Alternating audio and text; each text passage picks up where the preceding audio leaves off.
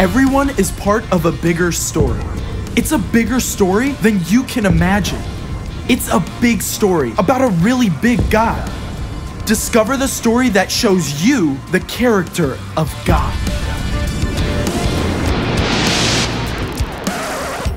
Hey, I'm Caleb, and this surprising bit of awesome right here is actually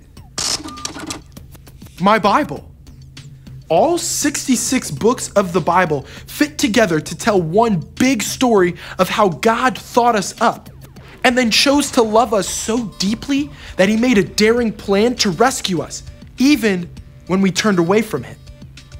God's love for us is so wild and strong, it's beyond imagining. He made us in his very own image to reflect to the world around us who he is. That's an amazing act of creativity. And I've got five stories to show you what it can look like. We get started in the beginning. Genesis chapter 1, verse 1. Here, God takes the blank canvas of nothing and creates everything. Using his words alone, God calls into being day and night, the sun and the stars, ivy and whales and ostriches and koala bears. And then he gets down in the dirt to shape his most personal creation of all.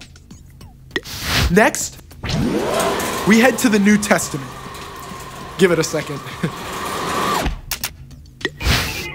okay, here, the Apostle Paul writes a letter to the believers in the church at Ephesus. He reminds them we are God's creation. He created us to belong to Christ Jesus. Now we can do good works. Long ago, God prepared these works for us to do. When God made you, He also gave you incredible gifts and set up unique ways for you to use them. We can see that in action back in the book of Esther.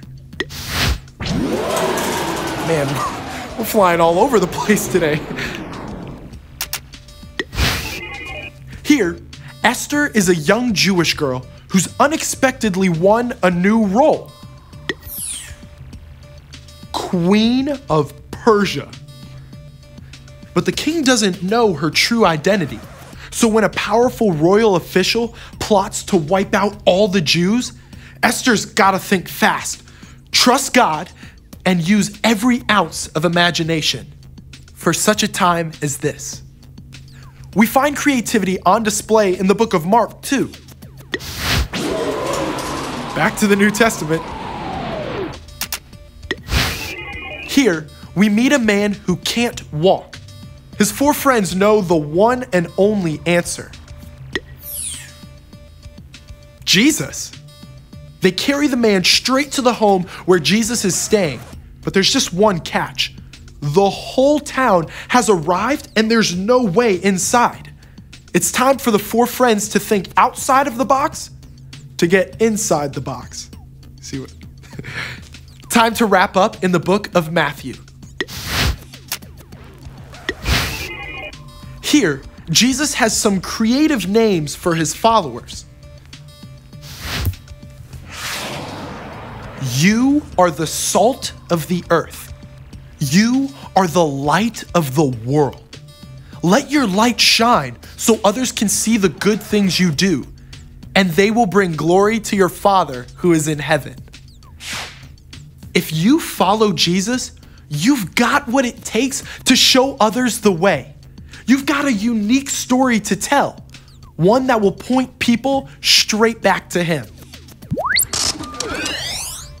Just imagine all you can do because you're made in God's image.